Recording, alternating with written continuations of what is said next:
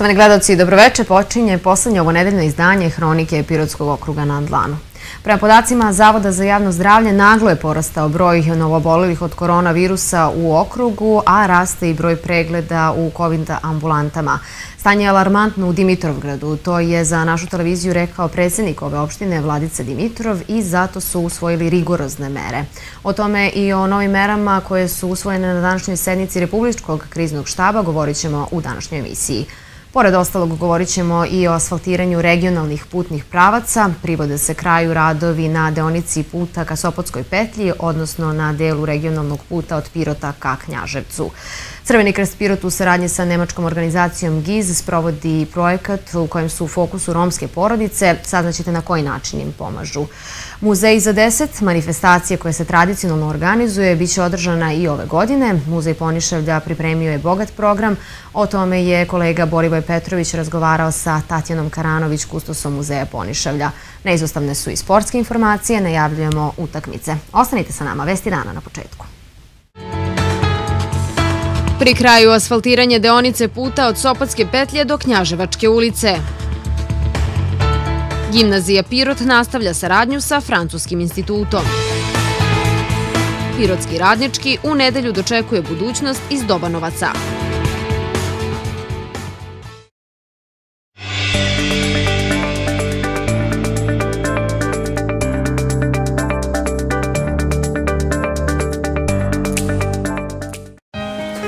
Smo imali jedni druge.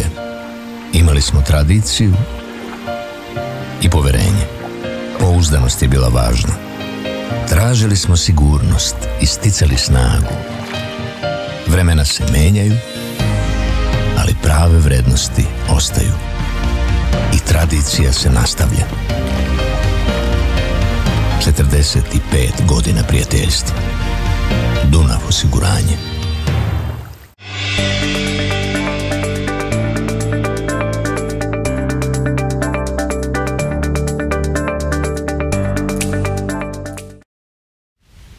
Prvi deo emisije posvećujemo najaktuelnoj temi epidemiološkom stanju u okrugu i Srbiji i novim merama.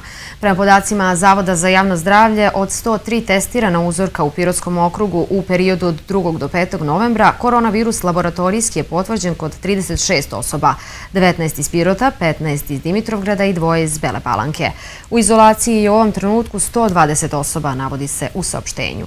Danas je uzorkovano i poslato na analizu u Nišku laboratoriju Vatreno oko još 45 briseva saopštene iz Zavoda.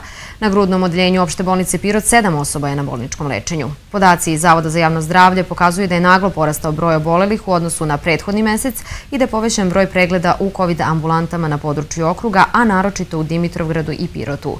Iz Zavoda apeluju na građane da poštuju sve mere prevencije kako bi se smanjio rizik za prenošenje zaraze. Epidemiološka situacija na teritoriji Pirota, Babušnice i Bele Palanke ocenjuje se kao nesigurna sa tendencijom prelaska u nepovoljnu, dok je u Dimitrovgradu ona već neko vreme nepovoljna.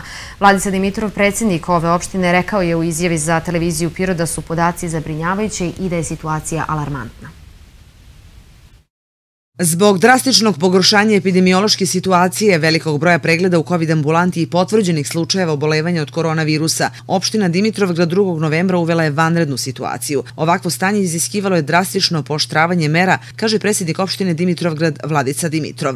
U gradu je generalno veliki broj ljudi koji se javlja zbog simptoma respiratorne infekcije koje, koji na kraju ispadnu znači da su u stvari COVID-19 pozitivni i mi smo praktično uh, krenuli u jedinu meru koja je u većini gradova koji su imali ovakvu situaciju dala rezultat, to je uh, bukvalno zatvaranje. Znači, lokalna samuprava ne može sama da donese odluku o političkom času ili o zatvaranju, ali zato mnogo toga može i mi smo to i uradili. Dakle, uveli smo prvo vanrednu situaciju u gradu, nakon toga automatski su svi ugostiteljski objekti krenuli da rade do 21 sat, U ostalim objektima je dozvoljeno najviše do pet osoba na 4 metra kvadratnih, znači ukupno. Jedna osoba na 4 metra kvadratnih, dakle pet osoba ukupno. Okupljenje na otvorenom prostoru je maksimalno do pet osoba. Mi smo iskoristili zakonsku mogućnost da lokalna samuprava može u vreme uh, epidemije ili vanredne situacije da uh, ovaj privremeno uh, zatvori škole i mi smo to uradili Dakle, to nije online nastava, to nije ministarstvo, to je lokalna samouprava i škole neće raditi dve nedelje, poćemo proceniti kakva je situacija, a nastavu će, izgubljenu nastavu će nadoknaditi. Od prošlog petka, kaže Dimitrov, situacija je alarmantna. Imamo po desetak e, upala pluća dnevno e, i to je stvarno jedan e, nezavidan broj. Ako, ako računate da Dimitrov ima 10.000 stanovnika, to bi recimo prevedeno na Beograd bilo da Beograd svakog dana registruje 2000 upala pluća, to je stvarno ovaj cifra koja je alarmantna. I mi smo u trenutno u situaciji da ovaj COVID uh, ambulanta radi punim kapacitetom, da laboratorije i rengen rade uh, ovaj, i subotom i nedeljom. Dakle, probat ćemo da naredne dve nedelje taj broj nekako spustimo na dvadesetak uh, pojavljivanja u COVID ambulantu na dnevnom nivou. Sad su trenutno 40 do 50. Da ne ide, kažem, zaravnimo na 20 do 30 maksimalno i da ovaj probamo da u narednim ovaj nedeljama spustimo znači taj broj svedemo se na sporadične slučajeve.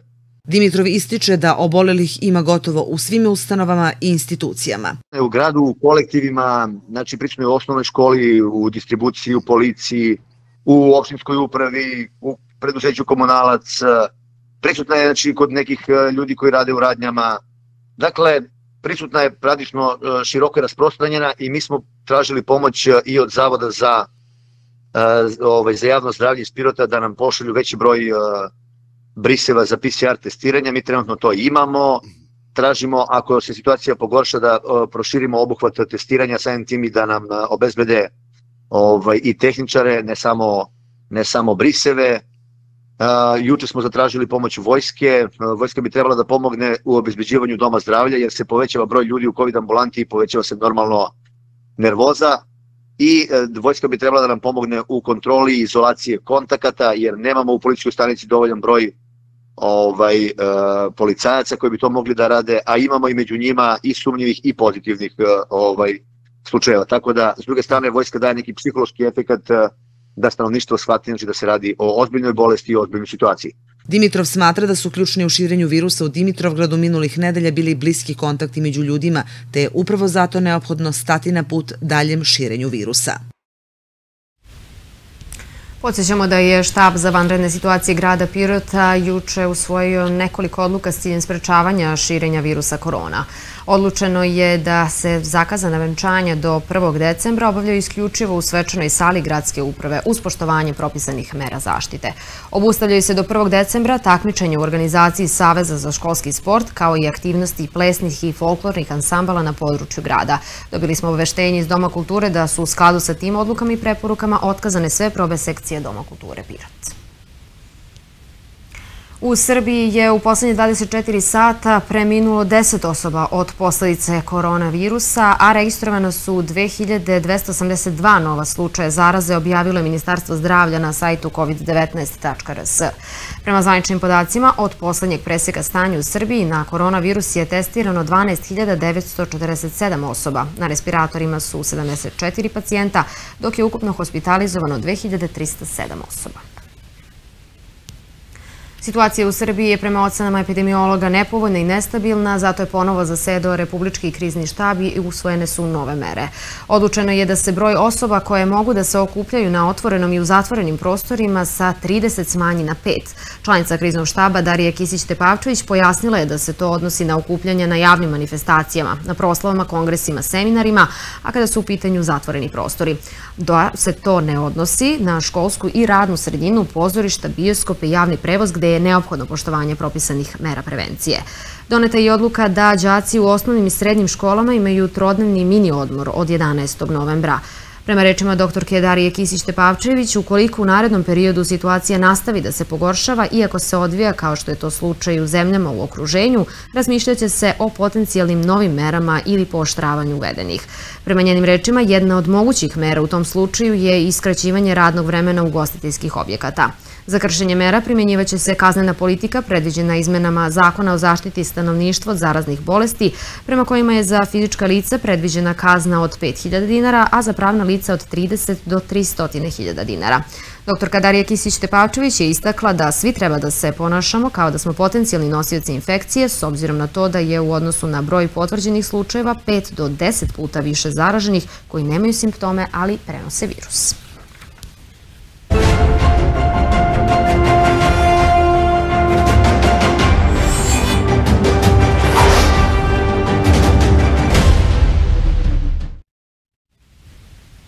Pri kraju su radovi na uređenju putnog pravca od Pirota ka Knjaževcu, radove na deonici putnog pravca od Sopotske petlje do Knjaževačke ulice.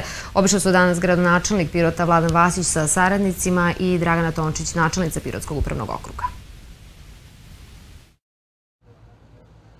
Aktuelna građevinska sezona u okrugu traja, polako se privode kraju obimni radovi na rekonstrukciju regionalnih putnih pravaca koje finansiraju koridori Srbije. U toku je postavljanje završnog sloja asfalta u dužini od 3 km na deonici puta od Sopotske petlje do Knjaževačke ulice, izjavio je gradonačelnik Pirota Vladan Vasić, koji je sa saradnicima i načelnicom upravnog okruga Pirot, Draganom Tončić, obišao radove.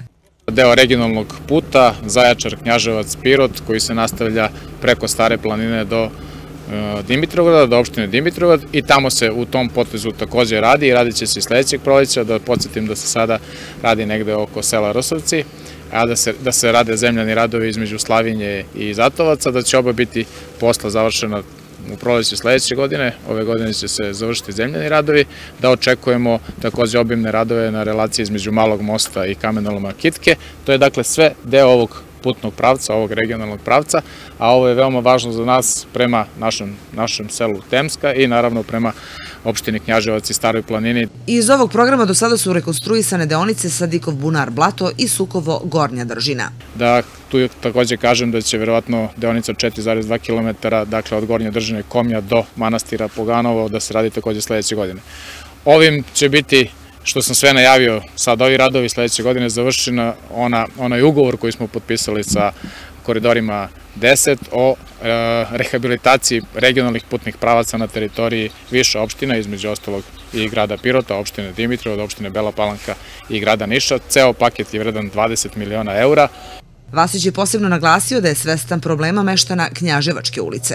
E, mi smo pisali koridoru, e, Čuli smo se sa ljudima iz koridora, ja mislim da su uvažili naše stavove, tamo će se raditi jedan potporni zid, produžit će se e, trotoar, dakle izaći će se u susret, naravno što je normalno da se omogući jedan normalan e, tok saobraćaja i pešaka i biciklista i automobila i u tom delu ulice i mislim da će se otkloniti ti problemi. Radi se trenutno projektovanje, neke administrativno odobravanje, ali će se to sve završiti.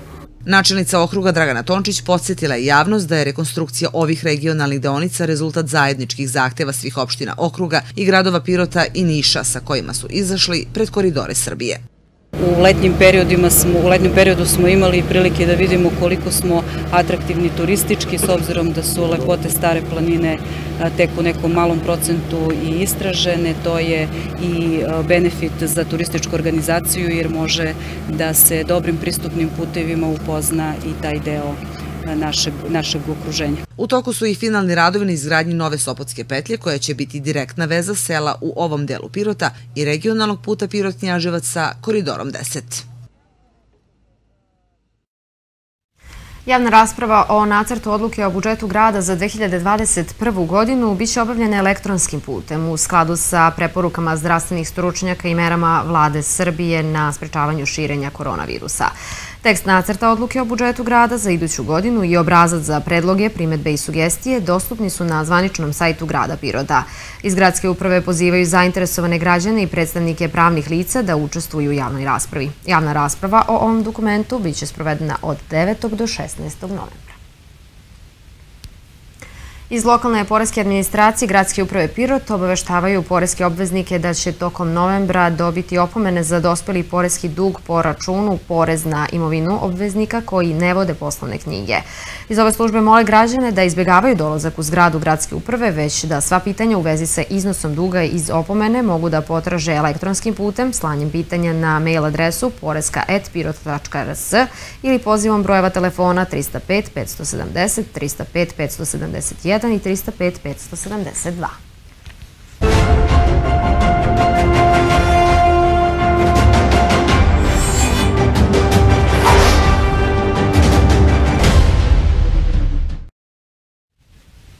Na poslednjoj sednici predsjedništva Srpske desnice u Beogradu razmatran je pravac budućeg delovanja s ciljem ulaska u institucije na parlamentarnim izborima najavljenim za godinu i po dana, navodi se u saopštenju gradskog odbora. Predložena je koalicija sa svim relevantnim patriotskim i desničarskim opcijama kako bi se nacionalizam uveo u institucije, navodi se u saopštenju. Govorilo se i o migranskoj krizi i bezbednosti građana. Iz gradskog odbora obaveštavaju da će uskoro u Pirotu organizovati sastanak povodom tog pitanja na kojem će prisustovati i lider lider srpske desnice Miša Vacić.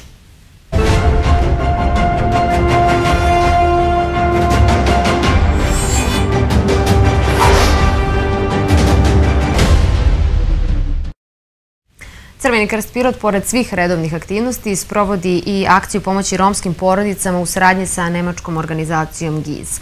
Projektom su obuhvaćene 32 porodice. Ekipe Crvenog krsta Pirot posljednjih dana obilaze romske porodice u gradu i selima koje su obuhvaćene projektom pomoći u paketima hrane i higijene ugroženom stanovništvu Nemačke organizacije GIZ. Naša ekipa bila je na terenu sa Crvenim krstom tokom posjete porodicama u Berilovcu. Zadovoljan sam Crvenim krstom što dobijamo pakete higijenske za hranu i to. Pa mnogo nam znači. Hrana, za, da, i to. Uz puno poštovanje preventivnih mera tokom novembra Crveni krst će obići sve porodice obuhvaćene projektom. Drugi i treći krug sledi, naravno to je, e, donator je tako i planirao da iste e, porodice koje smo mapirali za prvi krug učestvuju i u drugom i trećem krugu. Po povratku sa terena Stankovićeva je rekla da je planirano da akcija bude završena do kraja meseca. Biće podeljeno 50 e, paketa za 32 porodice sa više dece. Obuhvaćene su porodice i sa sela i iz grada. Imamo neka sela gde, su, gde postoje romske zajednice, pa će njima biti takođe podeljeni paketi. Jedan od značajnijih ciljeva nemačko-srpske saradnje je integrisanje ranjivih grupa i romske populacije u srpsko društvo, unapređenje socioekonomskog statusa romske nacionalne manjine u Srbiji, ostvarivanje prava, eliminisanje diskriminacije i uključivanje svih članova romske populacije u sve segmente društva samo su neki od ciljeva organizacije GIZ. Predstavnici Francuskog instituta i gimnazije Pirot potpisali su juče konvenciju o razvoju bilingvalne nastave na srpskom i francuskom jeziku. Francuski institut i Pirotska gimnazija nastavljaju dobru dugogodišnju saradnju potpisivanjem konvencije o razvoju bilingvalne nastave na srpskom i francuskom jeziku. Tim povodom gimnaziju su posjetili Frank Idinga, direktor instituta, Aleksandra Miljan, koordinator bilingvalnog obrazovanja i novi lektor za školsku 2020-2021 godinu, Ingrid Ponsi, koja će raditi u gimnaziji. Naša lađa Francuska zaplovila je još 2003. godine preko 2009. kada smo započeli prve korake za otvaranje bilingvalnog odeljenja i otvaranje tima za bilingvalnu nastavu.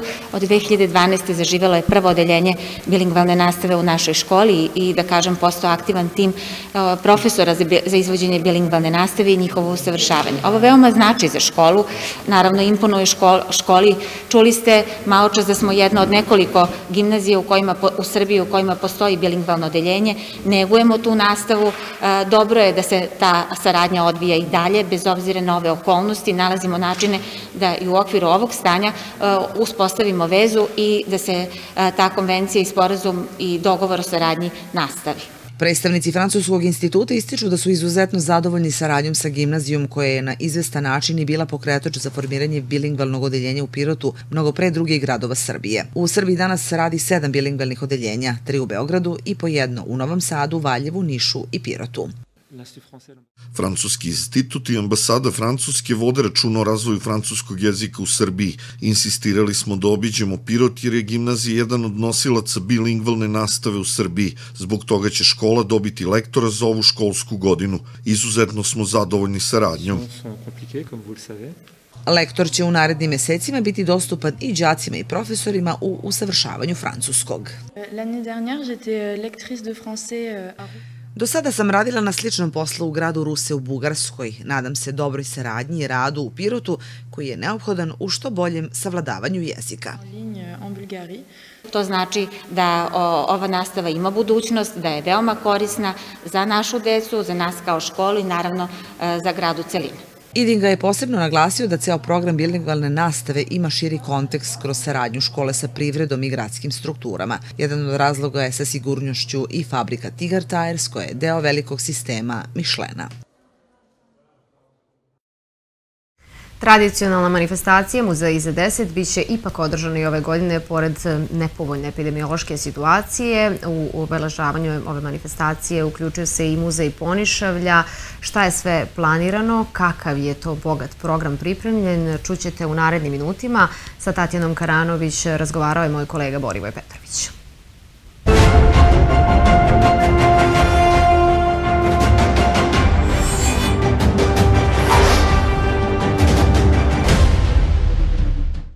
Naš sagovornik je kustos muzeja, Tatijana Tanja Karanović i govorimo o jednoj temi e, koja nas je onako privukla u posljednjih nekoliko godina, Noć muzeja, muzej za deset u Srbiji, e, zaista lepe manifestacije, naravno zbog epidemije koronavirusa e, neka pravila moraju da se menjaju, a o tome će nam više reći baš Tanja Karanović. Tanja, hvala što govorite za naš program hvala i vama što ste eto došli da ovaj, damo ovako nekoliko informacija vezanih za ovu manifestaciju. U uvodu ste sami rekli da je to manifestacija koja poslednje godina privukla pažnju, podsetila malo na muzeje i na to da muzeji mogu da budu prijatna mesta gde možda se provede provedu neki fini trenuci. E, ove godine manifestacija Muzeji za deset generalno kreće u uslovima koje svi znamo i ne bih o tome pričala, evo simbol cele te situacije jeste, jesu ove naše maske.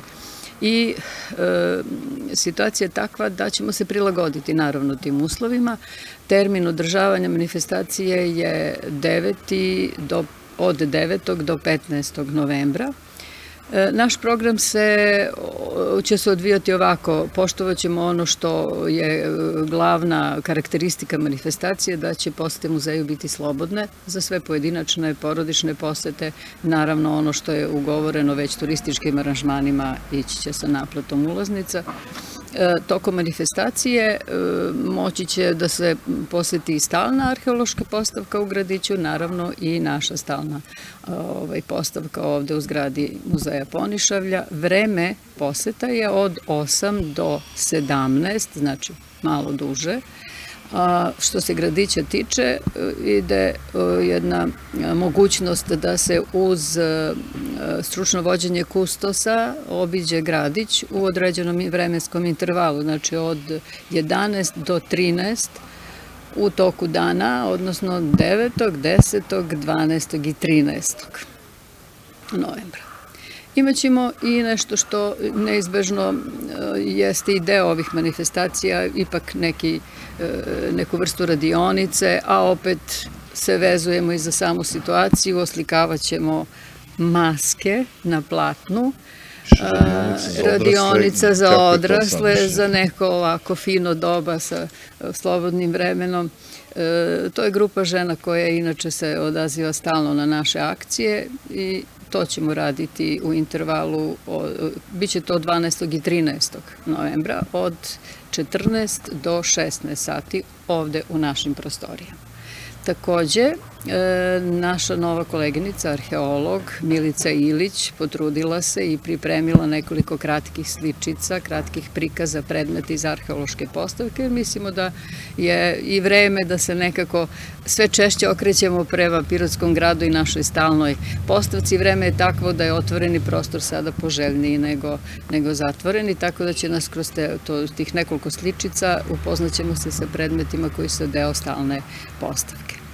E, nešto što je meni posebno drago jeste inicijativa koja će proisteći eto, iz ove naše ovogodišnje manifestacije.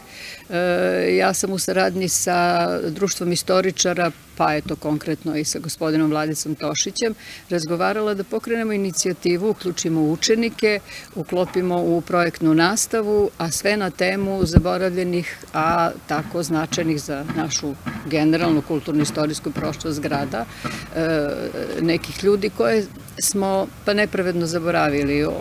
Ovo sve što nam se dešava prevazilazi, da kažem, ono što je bitno. E, pokušat ćemo zajedno da ovaj, učenike uvedemo u neki istraživački rad i da rezultat toga bude da i grad dobije možda, ne možda, ali zaista mi je želja, dobije obeležja na kućama, na mestima koja se vezuju za te ovaj, ličnosti našeg grada i naše prošlosti. Ono što je takođe deo ovogodišnje manifestacije jeste jedan zanimljiv konkurs za kratke video zapise, kratke video klipove, predstavi svoj muzej, e, gde svako od e, generalno u, u, u uslovima, da tako kažem, stoji da je namenjeno onima koji imaju više od 18 godina, to pravila nalažu, međutim to ne znači da mogu i mlađi da se, to znači da mogu i mlađi da se angažuju, a da naravno neko stari preuzme autorstvo i ovaj, taj klip se priloži i bude deo tog konkursa. Sad ja ne bih da licitiram te linkovi i tako dalje. Generalne informacije i ovoj našoj manifestaciji. On manifestaciji na nivou cele Srbije mogu da se nađu na sajtu same manifestacije Muzeji za 10, na sajtu muzeja Ponišavlja, na Facebook stranicama i same republičke ove manifestacije na nivou Republike i na Facebook stranici muzeja, pa ako neko želi i na mojoj Facebook stranici, ja ažuriram sve informacije koje, koje stižu i tamo će naći detaljno, jer je to mnogo teksta ove, koji se odnosi na konkurs. A naravno, volela bih da eto, nam mediji pomognu, pa da bude što više učesnika iz Piroterije i da je zanimljivo. Predstavit će svoj muzej, predstavit će sebe kao kreativne ovako e, osobe koje eto, za temu imaju muzej, a svi ćemo zajedno propratiti manifestaciju. Koja je zaista eto, u ovim okolnostima ovaj, sada e, tako na drugačiji način se odvija, ali eto, držat ćemo i u sećanju onako kako je bilo u maju. Uh, moram da se vratim, zaista sjajna ideja uh, ovo sa učenicima, taj istraživački rad, uh, mnogo ljudi koji zaslužuju, makar tu tablu na, na nekoj staroj zgradi, na staroj kući, e, tu ćete insistirati da baš se deca bave istraživačkim radom. Ne, deca naravno, nego učenici. Učenici, e, to bi se odvijelo u sklopu nastave istorije i u sklopu ovaj, tih projekata koje oni naravno u sastavu svog, svog programa imaju, ali mislim da, bi bilo, da će biti zanimljivo. Jer ima ljudi koje smo... Padne na pamet, to tako. E, Znate šta, e, da grad ima... grad ima zaista, ove, nekima, neki imaju svoje spomenike. Prolazimo pored tih spomenika, pa neki znaju o kome se radi, neki ne znaju, ali mislim da ta neka ploča, sve ovo što pričam, i od početka, u glavi mi je slika kući u kojoj je stanovo Svetislav Petrović. Čovjek koga smo zaboravili, čovjek koji je ovaj, e, gradu dao dosta onako sebe, da tako kažem, a njegova kuća i dalje stoji u Novosadskoj ulici i jedna ploča bi je ukrasila.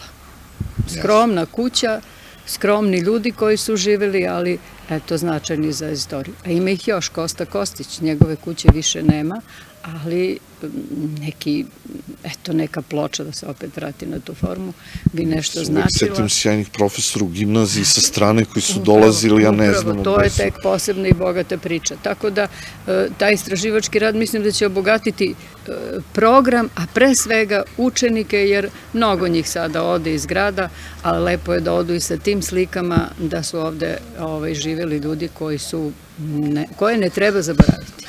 S pravom se ponosimo zbog ovog muzeja, među 40 odbranih u Srbiji, e, ozbiljan projekat, kažete, ove godine će svuda biti redukovano, da. ali, ali bože moj, nadamo se da ova pošast brzo prođe. Redukovano i, i, i digitalno, to je ideja. A mi smo inače 2017. godine i dobili nagradu. Tako da smo u nekoj obavezi, ne u nekoj, nego jesmo u obavezi da kontinuitet održavanja ovih programa svakako zadrži. E, samo da ponovimo, od... 9. E, do 15. Da je bilo sreće, da tako kažem, da sve ide onako u maju, onda bi bilo i prave noći muzeja, obeležio bi se i Međunarodni dan muzeja. Da je druge sreće bilo, u galeriji bismo verovatno otvorili i neku izložbu povodom toga i tako. Ali eto, čekamo 2021. Srećna nam i kakva bila 2020. Proći će, proći i korona, oslobodit ćemo se maski, a nastavit ćemo da živimo. Pa, u sklopu toga nastavit ćemo da živimo, bit će i muzej za deset.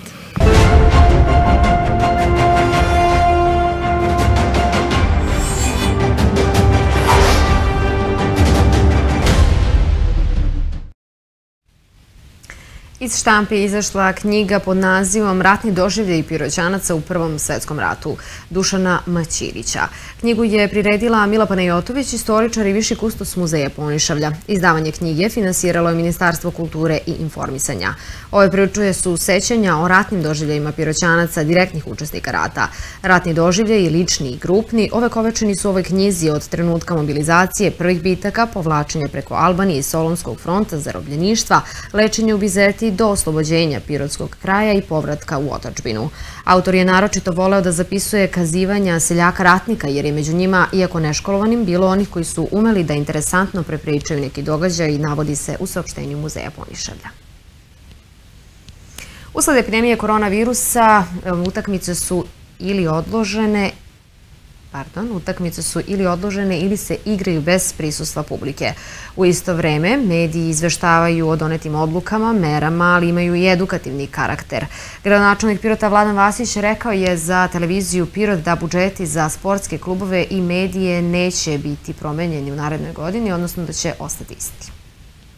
Iz budžeta grada se pored ostalog izdvajaju sredstva za sportske klubove i medije. Iako smo smanjili davanja nekim budžetskim korisnicima, za sport i medije se budžeti za narednu godinu neće menjati, kaže gradonačelnik Pirota Vladan Vasić.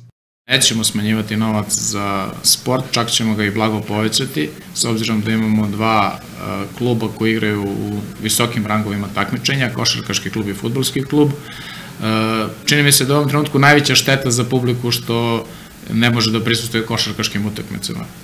Ja ih gledam jer sam na spisku onih 30 ljudi i zaista prvo su utakmice uzbudljive, fenomenalni su timovi, možemo da ih gledamo preko vašeg, vaše televizije ili preko arene, ali ipak publika često zna da bude i dodatna podrška i dodatni igrač. Šteta je to naravno i za futbolski klub i za sve druge klubove, ali u trenutku čini mi se, pošto košarkaški klub igra u toj Košarkaškoj ligi Srbije, to je najveća šteta. Mediji će sredstva iz gradskog budžeta dobiti kao i ranijih godina na konkursu za finansiranje medijskih sadržaja. U ovom trenutku je projekcija da nećemo takođe smanjivati. Znamo da pre svega mediji igraju veliku ulogu u, uopšte u društvenom životu, a pogotovo čini mi se u ovakvim situacijama kada vest treba da dopre do svakog od nas, kada kroz medije treba da upozorite ljude na konkretno pričamo o epidemiološkoj situaciji na probleme i kada zaista mediji mogu da budu i edukativni, ne samo informativni. Ove godine za rad sportskih klubova i kolektiva izdvojeno 68 miliona, a za medije 24 miliona dinara. Čuli ste da je gradonačelnik Pirota rekao da je šteta što publika ne može da prisustuje košarkaškim utakmicama, budući da košarkaški klub e, Pirot igra u najvišem ragu takmičenja.